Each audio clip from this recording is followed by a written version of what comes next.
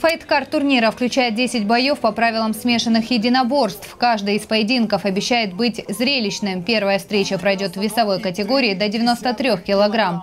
На ринге сразятся спортсмены из Республики Молдова Борис Полежаев и российский боец Алексей Шопин.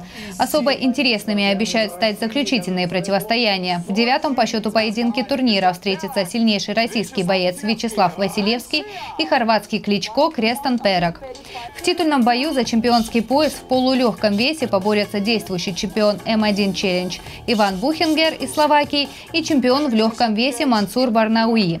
На счету французского Тарзана 12 побед и 2 поражения. После завоевания титула я принял решение спуститься в более легкий дивизион, оставив свой пояс в легком весе вакантным. Соперник в поединке у меня был более чем достойный. У Ивана 29 побед, поэтому я серьезно готовлюсь к бою. Также на турнире свой бой проведет один из самых ярких полутяжеловесов российских смешанных единоборств новой волны Адам Яндиев по прозвищу «Борода». Его соперником станет белорус Дмитрий Войтов. Вся программа, в принципе, э, сформирована была под Сочи, под Формулу-1. Были собраны все лучшие бойцы. И будет очень много уважаемых людей завтра. Хочу всех пригласить завтра 5 часов около Керлинг-арена со столицей М1 Челлендж 62.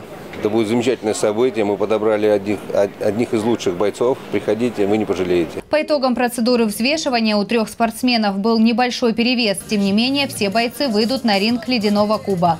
Прямую трансляцию M1 Challenge 62 можно увидеть на сайте mlglobal.tv. Татьяна Говоркова, Николай Тихонов, телекомпания ФКТ.